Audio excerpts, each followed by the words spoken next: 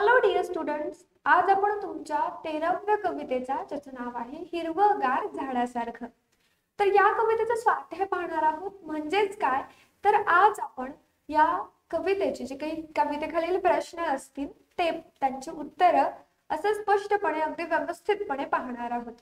तर मुलांनो ही जी काही कविता आहे हिरवगार झाडासारखं ही कविता जॉर्ज लोपिस या संवेदनशील कवीने लिहिलेली. पण या कवितेमध्ये त्यांनी झाडाच्या ज्या काही संवेदना असतील ज्या काही भावना असतील त्या स्पष्टपणे मांड मांडण्याचा प्रयत्न त्या ठिकाणी केलेले तर चला आपल्या आजच्या या स्वाध्यायाला आपण आता सुरुवात करूया. सुरुवातीला बघा प्रश्न पहिला चौकट पूर्ण करा. यामध्ये कवीने झाडाला दिलेली उपमा कोणती? तर ध्यानस्थ ऋषी. पानझडीनंतरचे नवीन वस्त्र धारण करणारा झाड म्हणजे काय? नवीन नवरी. कवीच्या मते उत्साही आयुष्य म्हणजे काय? तर टवटवीत फूल अलगत उतरणारे थेंब म्हणजे काय? तर दवाचे टपोरे थेंब.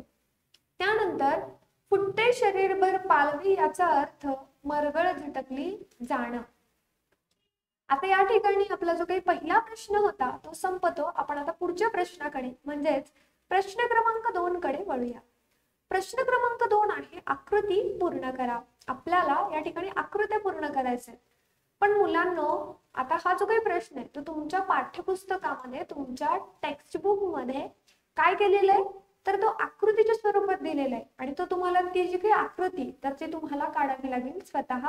आपण इथे त्यांची उत्तरं अगदी साध्या सरळ स्वरूपात दिलेली आहे झाडाकडे टक लावून पाहिल्यानंतर घडणाऱ्या गोष्टी कोणत्या कोणत्या? शरीरभर हिरवा रंग विरघळतो. दुसरा रक्त क्षणभर हिरवे गार होते. तिसरा हा की नुकत्याच खुडलेल्या फुलासारखं आयुष्य अगदी टवटवीत होतं. त्यानंतर आता या ठिकाणी आपला दुसरा सुद्धा प्रश्न संपतो ज्यामध्ये आपल्याला आकृती पूर्ण करायची होती आणि तो आपण अगदी व्यवस्थितपणे पूर्ण केलेला. त्यानंतरचा तिसरा प्रश्न आहे एका वाक्यात उत्तरे लिहा. आपल्याला एका वाक्यामध्ये उत्तरे लिहायची आहेत. यामध्ये बघा झाडाच्या जीवनाचं गाणं कशात दडलेलं असतं? तर झाडाच्या जीवनाचं गाणं पक्षाच्या मंजूळ नादात दडलेलं असतं. त्यानंतरचं दुसरं आहे की झाडाच्या मुळावर घाव घातल्यानंतर त्याची प्रतिक्रिया काय असते? तर झाडाच्या मुळावर घाव घातलं तरी झाड ते मुकाट्यानं सहन करतं. आता या ठिकाणी आपला जो काही तिसरा प्रश्न आहे तो संपतो. त्यानंतरचा चौथा प्रश्न असा की पानझडी नंतर हे उत्तर येईल असा प्रश्न आपल्याला या ठिकाणी तयार करायचा आहे पानझडी नंतर हा शब्द त्या ठिकाणी यायला हवं त्याच्या प्रश्नाचं उत्तर म्हणून. तर बघा प्रश्न असा तयार होतो की झाड पुन्हा नवीन वस्त्र कधी धारण करत? कधी धारण करत? तर पानझडी नंतर धारण करतं. या ठिकाणी आपला चौथाही प्रश्न संपतो जो की खूप छोटासा होता. त्यानंतरचा आपला या स्वाध्यायामधला पाचवा व खूप महत्त्वाचा प्रश्न की खालील ओळींचा तुम्हाला कळालेला अर्थ लिहा. आता हे जे काही प्रश्न असतात तर या प्रश्नांमध्ये आपल्याला ती कविता किती प्रमाणामध्ये समजली किंवा ती कविता आपल्याला किती व्यवस्थितपणे समजली हे समजून जात. तर यामध्ये बघा हसावं कसं सळसळत्या पाण्यासारखं आता यातून तुम्हाला काय काय जाणवतं काय काय समजतं लक्ष द्या. तर वाऱ्यामुळे झाडाची पानं हलतात त्यामुळे आवाज निर्माण होतो. या आवाजाला पानांची सळसळ असं म्हणतात. आणि त्या सळसळीत एक प्रकारचा मंजूळ नाद असतो. पानांची सळसळ म्हणजे झाडांचं आनंदानं हसणं होय. आप आपल्याला देखील झाडासारखे मन मोकळेपणानं हसलं पाहिजे. त्यानंतर पुढे जगावं कसं तर हिरव्या झाडासारखं. आपण कशा पद्धतीने जगायला हवं? तर अगदी फ्रेश प्रसन्न असं जे काही हिरवं झाड असतं त्याच्यासारखं जगायला हवं. म्हणजेच कसं तर बघा झाड हिरवगार आणि सतत प्रसन्न असतं. म्हणजे अगदी त्या झाडाकडे बघितलं तर एखादी मरगळलेली व्यक्ती असेल तर ती सुद्धा अगदी टवटवीत होते ती सुद्धा अगदी आनंदी उत्साहित होते तशा पद्धतीनं. झाडामध्ये परोपकाराची वृत्ती असते. झाड नेहमी सर्वांना सावली देतं. झाडामध्ये सहनशीलता हा गुण असतो. कारण बघा आपण येता जाता सहज झाडाची पाने तोडतो त्याची फुले तोडतो. मग झाडामध्ये सहनशीलतेचा हा जो काही गुण आहे तोही गुण असतो. कठीण प्रसंगात भक्कमपण भक्कमपणे झाड उभा राहतं. झाडाचे हे सर्व गुण माणसांना देखील जोपासायला हवेत. माणसांनी देखील झाडासारखं जगलं पाहिजे. आणि या ठिकाणी आपला जो काही पाचवा प्रश्न आहे तो संपतो. आपण आता सहाव्या प्रश्नाकडे वळूया. सहावा प्रश्न आहे काव्य सौंदर्य. काव्य सौंदर्य म्हणजे कवितेचं सौंदर्य. आता यामध्ये पहिल्यांदा बघा अ की खालील ओळींचं रस ग्रहण करा. म्हणजे आपल्याला याचा आशय सौंदर्य असेल काव्य सौंदर्य असेल किंवा त्याचं भाषिक वैशिष्ट्य असतील ती आपल्याला या ठिकाणी लिहायची आहे. आशय सौंदर्य काय? बघा कवी जॉर्ज लोपिस यांची मुक्त छंदात लिहिलेली ही कविता आहे. झाडाचं महत्त्व बिंबवणं झाडाची सहनशीलता परोपकारी वृत्ती संकटात ठामपणे उभं राहण्याची जिद्द या गुणांची महती सांगणं ही या कवितेची मध्यवर्ती कल्पना आहे. माणसानं झाडासारखं प्रसन्न प्रसन्न व हिरवेगार असावं अशी शिकवण ही कविता देते. त्यानंतर काव्य सौंदर्य. प्रस्तुत ओळीमध्ये पहाटे पहाटे झाडाच्या पानांवरून वहीच्या पानावर उतरलेले दवाचे थेंब कवीला जाणवतात व त्याला कविता सुचते हा भावार्थ सूचित होतो.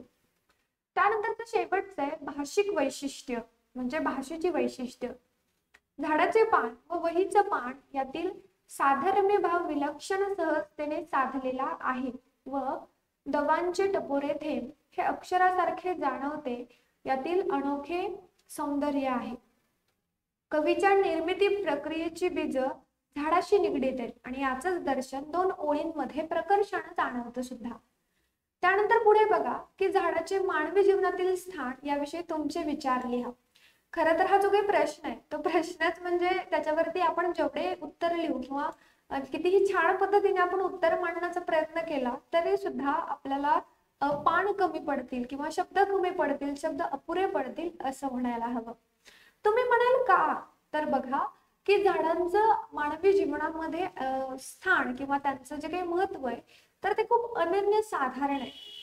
त्यामध्ये बघा झाड हा निसर्गाचा एक घटक आहे. तसेच मनुष्य प्राणी हे निसर्गाचेच अपत्य आहे. ज्या मातृभूमीतून आपण जन्म घेतो त्या मातीतूनच झाड उगवतं फुलतं फळतं सुद्धा. झाडाचे मानवी जीवनातील स्थान अतिशय महत्त्वाचे झाड परोपकारी आहे. झाड माणसाला पाने फुले फळे भरपूर प्रमाणात निस्वार्थीपणे देतं. म्हणजे त्याच्यामध्ये त्याचा काही स्वार्थ असतो का?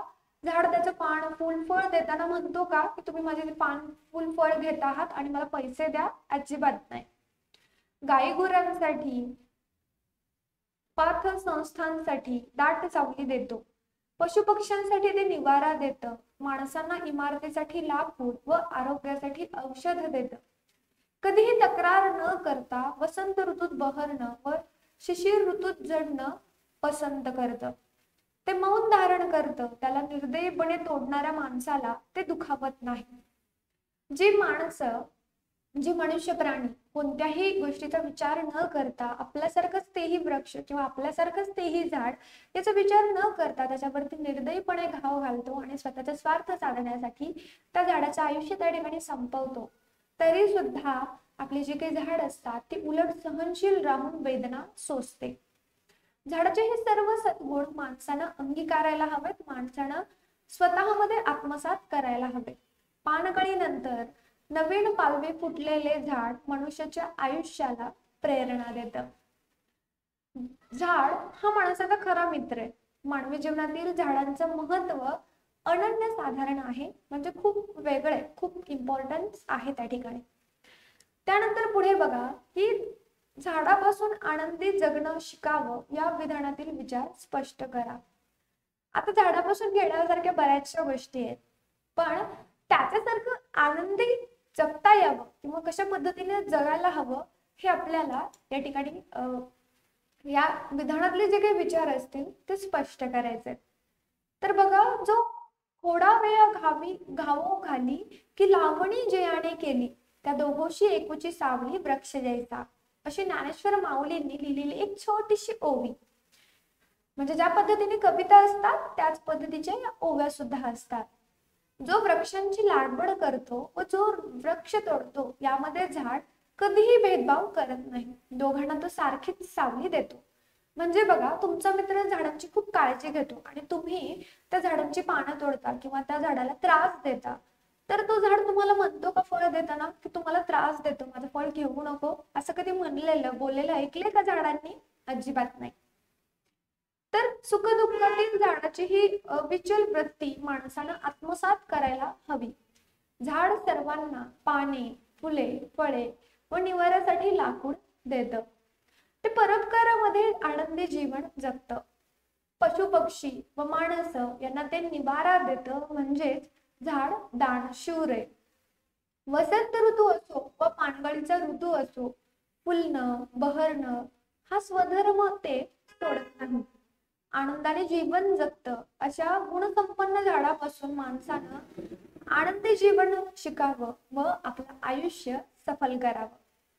तर अशा पद्धतीने बघा मुलांना या ठिकाणी आपला जो काही या कवितेचा जो काही स्वाध्याय होता तो संपतो आता यामधून आपल्याला एक छान असा मेसेज भेटतो. तो मेसेज असा की आपण एखाद्या व्यक्तीला सुद्धा आता हे झाडांनी आपल्याला बऱ्याचशा गोष्टी शिकवल्या खऱ्या पण एखादी व्यक्ती ही खूप सहनशील असते किंवा ते काय करते?